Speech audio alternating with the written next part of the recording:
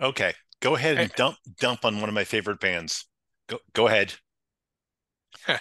I'm not going to dump on them. Mm-hmm. So, um, talking about Satellite Rides by Old 97's. It's a record you recommended, I don't know, a month or two ago. And um, so I got it on CD. Um, and it's it's not like it's awful to me. I don't think Oh, it's awful good. by any means. Um, it's just that uh, it does. I don't find it too compelling. What it reminds me of is some pretty generic sounding power pop slash alt country, whatever stupid fucking label you want to put on such things. I, it reminds me of things like uh, the Plimsouls, the Shoes, even the Smithereens, you know, fr from that era. Um, and it even reminds me more of the Replacements when they got lame, and Soul Asylum when they got lame, and when they basically their last few records. Um, that's what it reminds me of. And again, I don't think it's awful. It just doesn't uh, grab me that much. It just, um, yeah, I don't know how else to put it other than it's somewhat generic sounding and um, uh, is not too compelling. But I, I know you're more of a power pop guy than I am in general. I could see why you like it, and maybe if I give it a few more spins, it'll grow on me. But um, yeah, that's that's pretty much where I stand on this record. And I have no problem with them being referred to as power pop or alt country. Those are both labels that would fit, particularly alt country. Um, some of their songs are definitely less, you know, pop than o- other of their songs. Um, one of the things that I like, it won't surprise you so much about them, is he's Rhett Miller, the lead singer and main writer, is a great lyricist. And once again, that's where our paths diverge. And so, and I was thinking about uh, lyrics, and I was thinking about you know how important they are again to me. Uh, one of my favorite uh, rock books that I read is called "Written in My Soul," and it's interviews with uh, with songwriters like Paul Simon and Neil Young and uh, Lou Reed and Bob Dylan and Springsteen and so forth.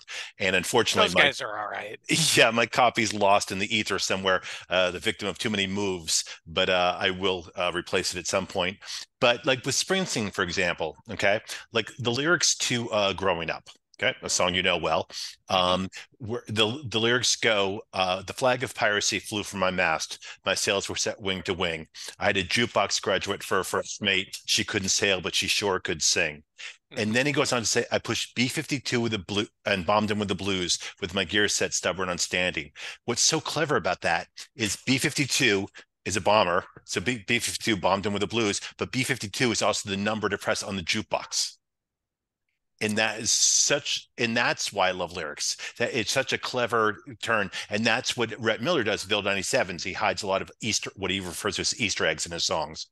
And i, I watched a lot of his uh, solo concerts during the pandemic uh, through uh, something called StageIt. I don't know if you're familiar with it or not Mm-mm. but where he would do concerts from his home and you could basically pay whatever you wanted and people would pay five to ten bucks per show and you could also tip him afterwards if you want. And he would not only do the songs but he would also often uh, talk about how, he wrote it or what it referred to or that sort of thing and that was just really a wonderful way to to get even more uh, familiar and more appreciative of his work Mhm. um I also, you know, the power of words. Um, and again, it, this won't surprise you. I love writing and I love reading. Um, I know you're a big reader as well. Do you read fiction as well, or really just nonfiction? Um, yeah, I will read. I go through phases.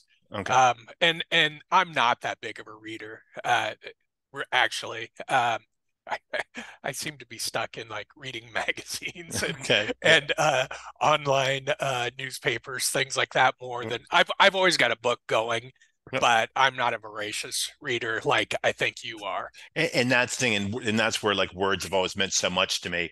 Uh, and so another good example of this is um, like if I said to you, what's a very important quality about people? Uh, and you said character. And I said, okay, great. And you said, and you wanted to make it emphatic. You said that guy's got a lot of fucking character. Okay, so yep, that's clear. But an even better way of putting it is that the late Horace Greeley once said, uh, "Fame is a vapor, popularity an accident, and riches take wings. The only thing that endures is character." And that's That's just good. such a beautiful way to put it. And and that's excuse me something music can't do and only lyrics can do. Um now music can get me pumped up okay? There's no question that a, a, certain guitar solo drum solo a band kicking in together or something like that can just get me pumped and going like nothing else. There's no question about that. But it, it that's affecting my mood my energy uh, my emotion it's not affecting my mind in the way so, that lyrics do yeah lyrics affect hmm. you in a more cerebral yeah way um which makes sense and and i have to um reiterate it's not that I don't care about the lyrics. Right. It's just that um, I would still listen to music if it was only instrumental and there was no singing at all or lyrics. I would still be heavily into music. Um, and I have to say, I never sit around listening to uh, poetry, you know, without uh, music. And, and, I do, and I used to read a lot of poetry, um, and it's not just poets like like E. e. Cummings or uh, William Carlos Williams, but also you know Patti Smith uh, released a book of poetry. Jim Morrison released a book of poetry. You know, I've read those as well. Um, and I think that's also the difference with our with our our our educational background is that I took classes which you know discussed that, and also took classes which uh, critiqued uh, you know critiqued poetry, critiqued books, critiqued film, um, you know, and and I remember reading. Um, I have to just inter- interject, yeah. and as a rule, I I've always been against taking any classes. Yes, and that's where our educational paths diverged.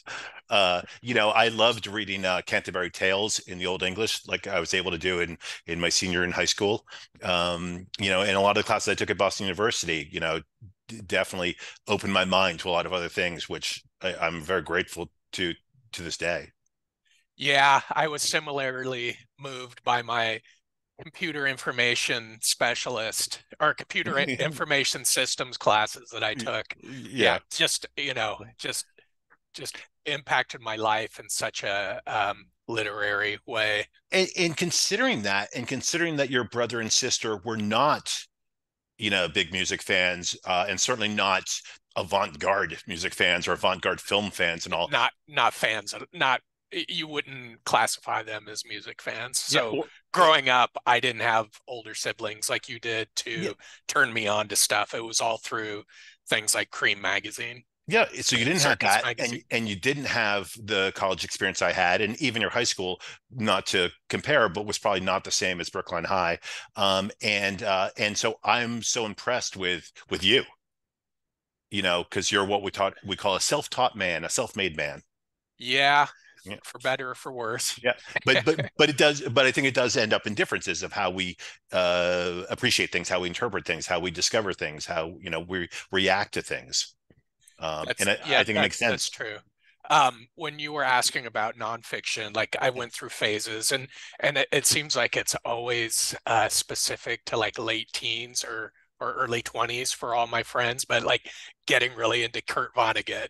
Yeah. Um, I, I probably read 12 of his books in the period of a, maybe a year or a year and a half when I was, you know, my early 20s and um, just ate them up and uh, since then, you know, I'll I'll read the occasional nonfiction book, uh, but probably not as much as you do. Like, I mean, I mean, fiction book. I'm sorry. Yeah. Uh, fiction is what I was talking about. Um, so, like, for example, now do you have uh, a fiction book going? Uh, so right now, not at the moment, um, but I I usually do. I, am always balancing. I, I probably do one and one. I'm probably doing a fiction book and a nonfiction book at, at the same time because because I'm certainly interested in a lot of nonfiction as well.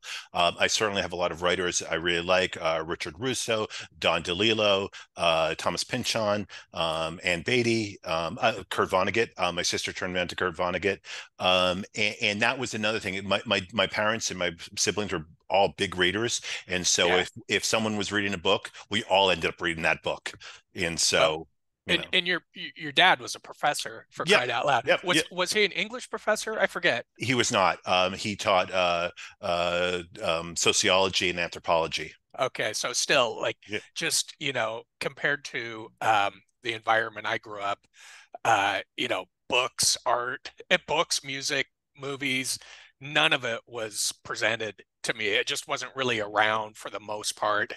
And for some reason, uh, I had to, you know, some reason music in particular and, and movies really um, struck me as like, you know, the most fascinating thing. And uh, I, I don't really know why growing up in a tiny little town. So it is interesting that you and I um, have all these things that we bond over. Usually it's music or movies or and some, some sports, but bubble uh, hockey. With, uh, yeah, um, with such um, such varying backgrounds of, of, the way we grew up and in the environment we grew up, it's it's and, kind of interesting to look at that. Yeah, and, and I think there there is something that stops someone because my my dad's father, my grandfather is you know long gone. Um, he was a bricklayer uh, never had a college education never i don't think he ever he completed high school. Uh, he was not a reader he was not you know he didn't listen to music um, or you know except for maybe uh, uh you know uh, some like uh, klezmer music or something. And and and my dad was a voracious reader and and music uh, and you know my dad loved music more than anything um, and so it's interesting uh, that uh, like you know if you had kids uh, they would probably be interested in music they'd probably be interested in, in film because you feel so strongly and so sure. once it starts then it can really you know trickle down yeah and um, i was a stepdad for a while and to your point i was um, constantly um, exposing um, my stepkid at the time to music and um, movies. In fact, I was teaching him how to play drums um, and was, you know, constantly showing him movies that uh, meant a lot to me. And, you know, it, it, I none of it really stuck. Yeah. Which was, you know, that's that's the way it goes. But you you can um, try and influence people by uh, presenting music. Let's just use music as an example as something that's important to you and perhaps you know perhaps you will get into it in much the same way so here you go and I think it's the nature of any kid. I know I was like this, and my sister's uh, kid uh, daughter is definitely like this. In terms of if your parents or step parents are presenting it to you, you have to initially resist it with all your might. Um, and uh, and I was certainly like that when my dad would say you have to see this movie or that movie. Him saying that that was the kiss of death. Then I would actually finally get around and see it and go, hey, you know what? You're right. Like, yeah, you know, but it's just nature of a teenager in particular to, you know, to throw up that wall of resistance, which is too bad. But that's teenagers, I think, everywhere of all time. You know, so there's there's that quote, and it I don't know if it came from Springsteen talking about how when he was, I think, 16, uh, his dad was the most idiotic moron Uh, in the world. And then by the time he became, I don't know, 21 or something, he suddenly realized his dad was the smartest person in the world. So the actual quote is Mark Twain. Is and, it Mark Twain? Okay. And Mark Twain well, said Springsteen, Mark Twain. yeah, the know. same thing. Whatever. Uh, when uh, when Mark Mark Twain said when he was 14, he thought his his father was the dumbest man alive, and he said by the time I turned 21, I couldn't believe what my father had learned in the last seven years. That's that's it. That's it. So parts of it stuck with me. I just yeah. forgot where it came from. Yeah. Um. Uh. I have to mention um a really good documentary series that I recently finished watching. It's on Max, formerly known the artist formerly known as HBO. Yes. Uh, it's uh, I think three or four. I think four parts, um, and it's all about Stax Records. Yeah, I saw that. I saw that right when my Max subscription ran out because I always will do uh, this. I'll do like this pay platform for like a month or two, sure. see everything I need to see, then cancel it and go to the next one. And I'm always bouncing around because uh, I'm yeah. not going to pay for ten platforms at the same time. And unfortunately, on the last day, I, I wasted my I wasted the last day watching Dune two, and, and, and then saw the Stax one just yeah just as it expired, and so that is totally on my list. I'm I absolutely I almost signed up right away, re-signed up, but I was like, okay, it'll be there, and I'll get back to it. But yeah. I absolutely want to see that. It's not going anywhere. Um, yeah. It is really good, and you know some of those uh, music documentaries, whether it's just a single single film or a series, so they can be hit or, hit or miss, Definitely. and a lot of times. Uh, they're somewhat redundant and they just continue to recap the same shit over and over again. And yep. um, this one is one of the better ones that I've seen for sure. And uh, I'm a huge fan of of all the Stax music, you know, Same. from Booker T and the MGs, Otis Redding, yep. Carla Thomas, Carla Rufus Thomas, Thomas yep. um, uh, oh, the Bar-Kays, uh, oh, of course, Isaac Hayes, yep. and uh, it brought uh, it brought all of that stuff back to the forefront for me. So I've been digging through my soul collection and revisiting a lot of that stuff. And um, man, it really is just some of the best music ever made. Put no to, question. Put to vinyl. Yeah, I love that stuff. And I'm glad to hear it is a good documentary because you're right. A lot of them are very hit and miss. The two part Paul Simon documentary, pretty good. Not outstanding, but pretty good. The Beach Boys one that was just came out on Disney, again, pretty good. Not great by any means, but pretty good. And so both worth seeing, but not anything to knock yourself out for. Mm-hmm. Um, whereas I've probably seen the kids are right I don't know, a hundred times. Um, and so, and that's a little different than a, a, documentary, obviously, but still along the similar lines. Still um, a music movie. Yeah. And as I've mentioned band. before about the Ken Burns uh, jazz uh, series, a t- 10 part series on the history of jazz, which is wonderful. I've seen that multiple times as well. Um, so um, and another one that I watched the first part of, it's on PBS and it just came out. It's um, all about disco, going back to one of our earlier conversations oh, yeah. about how when we were of of the age back when disco was all the rage, so mid to late 70s, we wouldn't have been caught dead. A listening to disco, let alone admitting we liked it. Um, and uh, this one, uh, I've only watched the first episode so far, and it's it's it's okay. Uh, much like the the other ones you mentioned, it didn't didn't blow me away like the Stax one did. The Stax one is just so compelling. It's just such a incredible story. This tiny little label in Memphis, Tennessee, started by a brother and a sister, yep. um, with basically no money. Two white folks in the middle of an all black neighborhood, uh, converted an old I guess it was an old movie theater into the studio, and there's a record store right next to it that the sister ran. It's just, just uh, uh, like classic American success story uh, put to film, and all you know around our favorite topic, music. It, eh, uh, it, just really, just so compelling. It's amazing stuff like that. Look at you know Sun Records that Sam Phillips started you know, uh, and and all the artists like you know Elvis Presley and Jerry Lee Lewis and Johnny Cash and all that that ended up recording this tiny, you know, place in the middle of nowhere. You know, um, uh, yeah. Chess Records, another one. You know, coincidentally, I watched uh, Jerry Lee Lewis "Trouble in Mind" mm-hmm. just last night, which is the documentary that one of the Coen brothers did. I think it was Ethan Coen Oh, came okay. out a year or two ago, yeah. and it's on right now. It's on uh, Kanopy and uh, that was really good. You know, a lot of the old old rock and rollers are the original ones, from Chuck Berry to um, uh, Little Richard to Jerry Lee Lewis. I appreciate all that stuff, but I it's not like I am ever sitting around listening to them as much as I uh, respect the fact that they're the like the the fourth forefathers of, of rock music. Yep. Um, but man, Jerry Lee Lewis, he he. Uh, this documentary is really good, by the way. It's another one that I would put uh, up there as like a must see. Um, and uh, he was just a, an incredible, incredible musician and performer. And you know, the I don't know the the songs themselves. I, I don't they don't they don't hold up in the same way that say some of those early Chuck Berry songs do, in my opinion. Uh, but what a performer. And um, to go as long as he did to have that kind of longevity, he only died like, I think, two years ago. Yeah. And he started in the very early 50s. Yeah.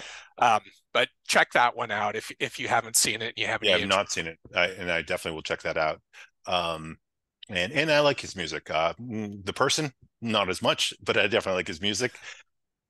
Uh, uh, to to that point, and yeah, anyone who marries their 13 year old cousin, that's yeah, I mean, that's got to throw up some red flags, no doubt. And I'm assuming that's what you're talking about. Yeah, say and, the person. And, and, also, he was not known as the most wonderful bandmate or you know or band leader by any means. Um, definitely prone to explosive temper, that sort of thing.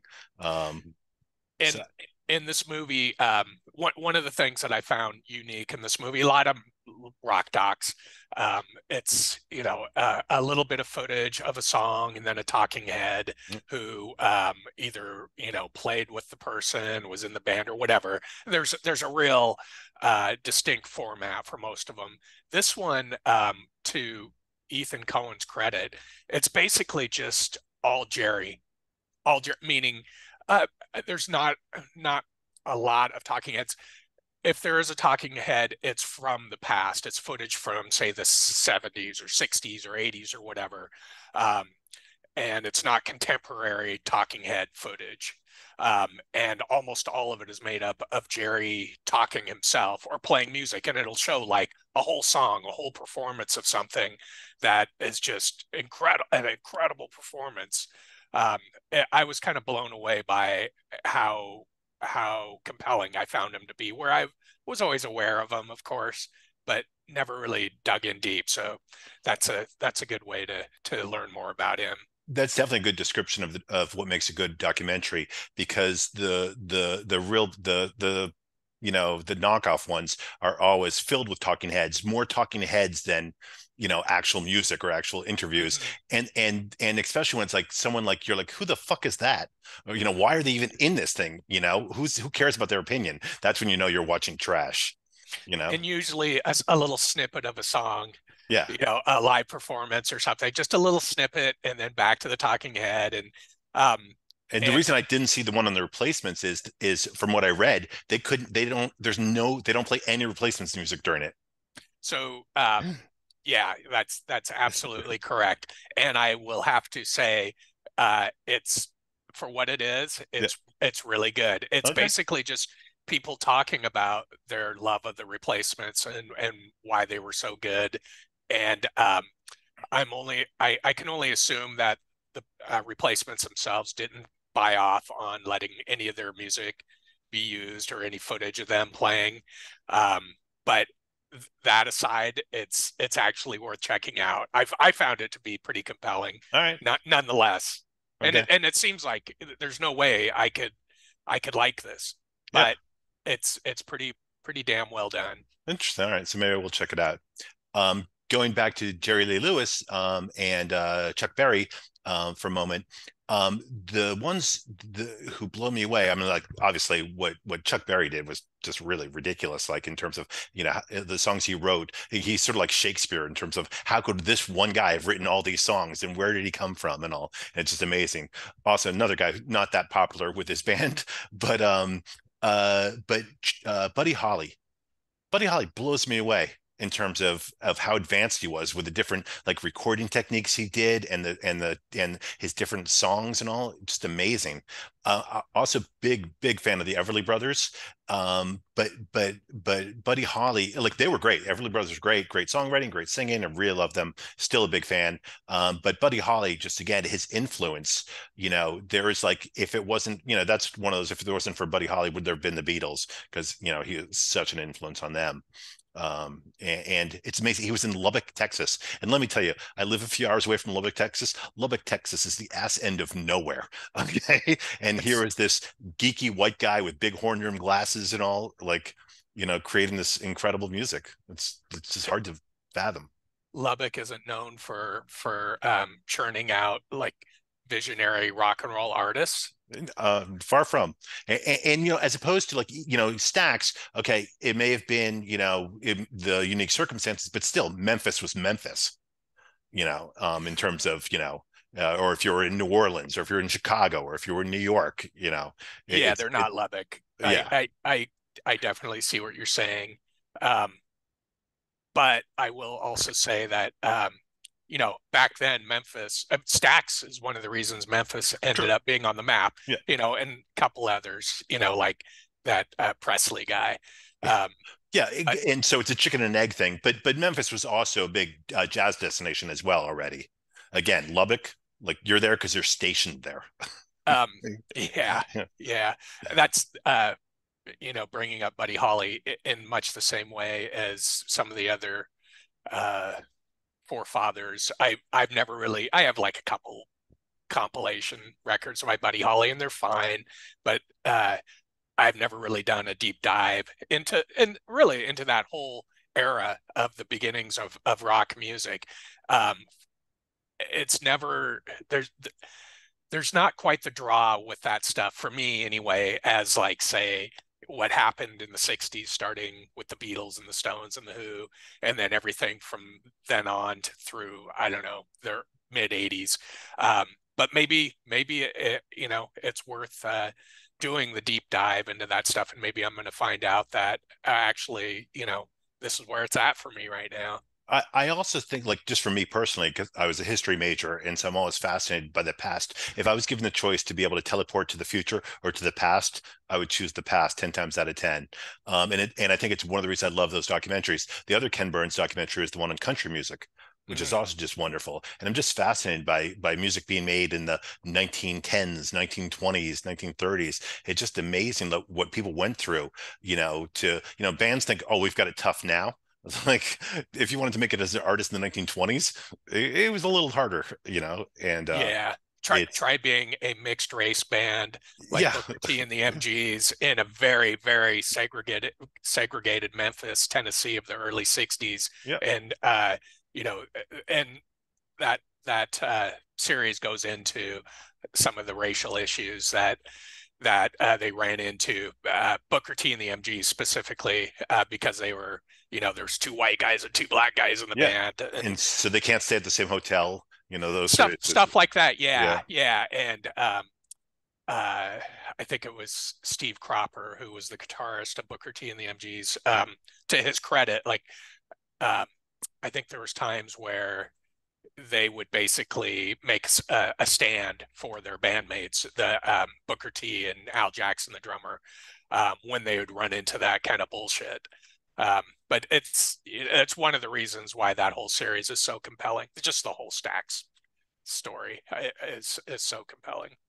And it's amazing that that they they they you know uh, persevered and and prospered. Um, it'd be so easy to say, you know what, what are we doing? Screw this. Let me only play with black guys. Let me only play with white guys. Then we can we can pl- play the same clubs and same restaurants, eat at same restaurants and all, and life is so much easier.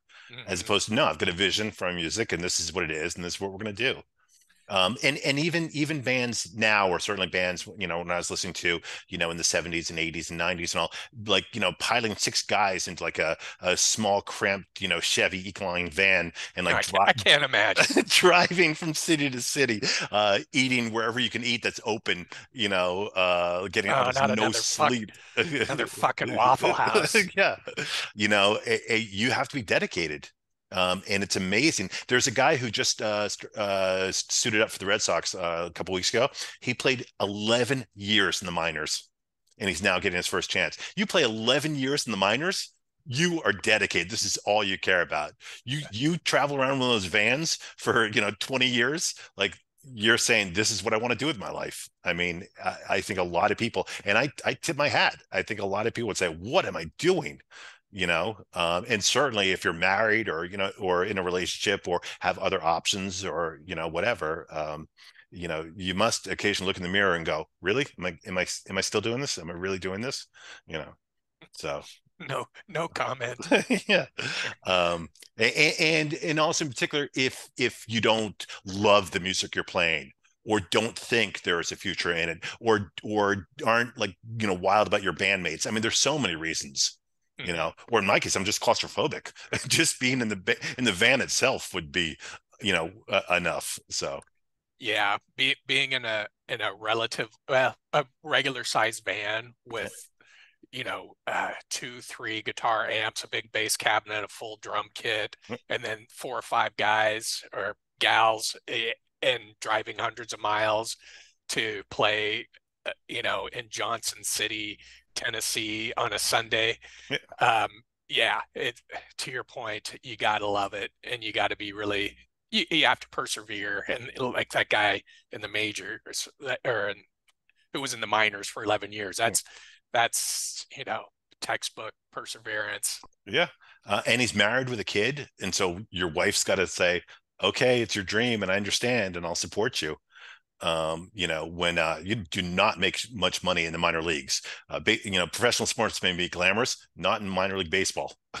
No, And- only at the upper echelons. It's Yeah. just like music. And, Just and when you're in the minor thing. leagues yeah, of music, Yeah. you you don't make shit. Um, and the ones who finally do break through, you know, they obviously can make uh, lots of money, but that's like, you know, it, it literally is like one in a million.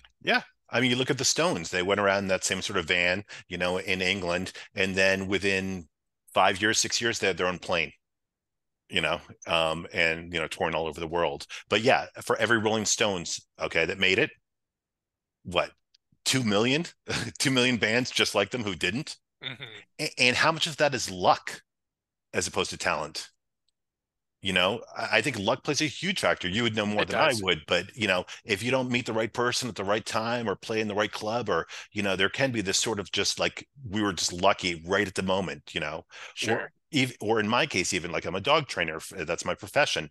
And when uh, the pandemic hit, everyone on the planet got a pandemic puppy, and, and dog ownership in this country went up 350 percent No kidding. and my business exploded. And yet, if, if if COVID had happened to dogs and not people, I would not be in this business. I would be, you know, working at Mickey D's, you know. And so it's just it's it's just fate and nature and luck and all. And again, especially I think if you're a musician, like if you know if Bruce didn't meet John Hammond at that right time, who knows if we'd even know that the future of rock and roll was named Bruce Springsteen. Yeah. You Yeah. know. You're right. Uh, well, and I think it applies to everything in life. You know, it's luck and chance. And what is what is the equation? It's like, um, oh, uh, like two like twenty percent hard work, twenty percent talent, and then like sixty percent luck or something like that. I forget. I didn't Mark Twain say something Eh, about that? Well, I, I actually always quote uh, Ecclesiastes of, of all people when it comes to this, who said, I have gone and seen everything under the sun, and the race does not always go to the swiftest, nor the battle to the strongest. Nay, time and chance happeneth to them all. Damn it! I was going to pull that out for you, And, and and that is that is true um because again i think I, I think if you interview it'd be interesting to interview like 100 bands or 50 or whatever successful bands and say what was what happened because so many bands like we've talked about before yes is a band where their label almost dropped them after the first two albums uh lou reed the album the label definitely wanted to drop him after the first album and if it wasn't for david bowie lou reed would never re- recorded another album uh hall and oates i think they had five unsuccessful albums and they went on to become the best-selling duo of all time. Uh, you know, and, and again, it's just like you're at the, the whim of that record company. They, Yeah, they drop but- you. at least back then though um and this is where the game has changed so much today uh back then uh labels would allow time for artists to develop So, whether some, it was you know most of them Yeah. most of them when you think of like your elton johns you know these these really huge artists even some of the ones you just mentioned um uh lou reed um uh Oh. he, like elton john for example had um, a couple records uh, released on a, a little label called Uni, of all things, uh, before he hit it really big. And um, other, uh, uh, even going up into the 80s, a band like REM, you know, their label allowed them to develop and grow into, you know, the commercial monster that they became. And today, uh, artists just don't get that chance. No. The, the whole the whole model has changed, of It- course. unbelievably changed. But also, I think it, what you needed also, even back in those days, was you needed a champion at the label. You needed at least one person who really believed in you. Yeah, And- even if you didn't sell like, you know, Yeah. 2 million records your first time out, it's like, but uh, this person believes in them enough and is telling the CEO of the company that Yeah. just stick with them. I know they're gonna they're gonna hit and they're gonna pay off for us. Yeah, and, And you need you need that person. it happened. Uh, and, and it's interesting with Elton John. If he had never met Bernie Taupin, would Elton John have become what Elton John became? Um, Once again, I- going back to lyrics. yeah, he couldn't I've- write shit. Well, I've I've heard uh I I recently picked up this um this box set of Elton John early stuff and some of the some of the really early stuff with lyrics that he wrote. And to your point, yeah, it's let's just say it's no, uh, you know, someone saved my life tonight or or whatever. leave on. Yeah. Yeah, yeah. Any you know, just name any great Elton song from that era. Um, yeah, it was pretty pretty pedestrian lyrics, like you know, uh, you know, baby baby type lyrics. And, it was like a note, uh, uh, like you know, he put up a flyer in the wall, you know, Taupin and and and uh, and Elton John happened to see it. I mean, again, would would Elton John have still had a successful career? Yeah, probably. Would it have been a megastar career? Probably not. Who knows? Uh, you know, hindsight's always twenty twenty. Um, I had to mention uh, I I needed to go back to something we talked about a while ago because it's an example of it popped in my brain. We were talking about is there any band or artist that we like a lot, even though we don't like the singer or the singer's voice. Yeah. Um, and one that ca- came to mind for me um, was Jane's Addiction, um, because I, I, their first three records are some of my favorite hard rock records, hands down. And when I think about it, that fucking croaking screeching Perry Farrell. I don't really like his voice, but it works well. When I think of good Jane's Addiction records, the voice is just like it's almost like okay, well, it is what it is. It works. It makes them sound somewhat unique, even though I don't particularly like the voice, you know, in a traditional sense. Um, so that was the the one example I could come up with and that's that. that's interesting that there is one I, but uh, yeah i think you'd be hard pressed to find 10 20 you know i, I you know it, it's sort of like like an actor or an audiobook I, I really like audiobooks and it could be a book i really want to listen to but if i don't like the person whose voice is reading it forget it there's no way I can listen to it. Um, and there are some actors where I just I, I, don't like their voice. It happens less in acting because you're watching other things and all, but certainly music where you're just putting a, a record on, you know, and and and if the voice annoys you, then I, you're you're dead in the water most of the time. So when you're listening to to music, rock music in particular, yeah, you're the focus is on the vocals more than anything, and yeah, if that's not working for you, it is tough now there is an example of an album I like where I don't particularly like the singer, but I don't dislike him. Uh, but Brian Johnson on AC/DC's Back in Black, uh, mm-hmm. uh, I really do like Back in Black quite a bit, and it's not because of his his voice, um, eh, but but I don't hate it. Okay, mm-hmm. as opposed to as I've said, Eddie Vedder's voice or or Geddy Lee's voice, where I really dislike their singing. Um, so, um, um and uh, the reason that Jane's addiction um, uh, comment even came into my mind is because they recently got back together with all the original members. Hmm. I know they're the, they're hmm. you know what they're the first rock band who ever got back together 30 years later with all the original members and are touring. And um, so of course I have to go on to YouTube and um, check out what they sound like now.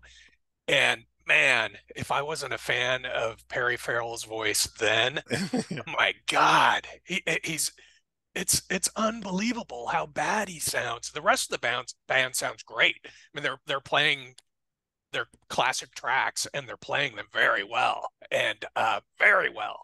Um, you would never know it was 35 years later. But Perry Farrell, it's it's like he's not even trying to sing. He just he'll just kind of croak something out at the right time instead of, he's not even singing it's it's unreal you should check it out i, I don't think it's just me it's, okay I, I, I, will bad. I, I think you know in terms of the other the rest of the band being good, I think it's much easier, not easy, but easier to keep your musical chops than your voice. Mm. You know, t- 20, 30 years later. Mm, it depends depends on uh, what kind of physical condition you're in. If for for guitars, bass player, or drummer, or, you know, you, you still have to be in pretty deep. You have to have continued to work at it, or it is very much use it or lose it in a lot of ways. Which you might still sense. be able to play, but certainly not at the same level level of um, you know 35 years earlier when you were living and breathing it but it, it, check check check out. Do you even like jane's addiction? Yeah actually? i can take him or leave him. Uh, uh yeah uh, you were never a big fan. Yeah uh, i was never a fan of grunge and i know you hate labels. I was never a fan of grunge uh, but of all the bands they were one of the ones i preferred to the rest. So, so I, I have to I have to say you it's you can't really lump them into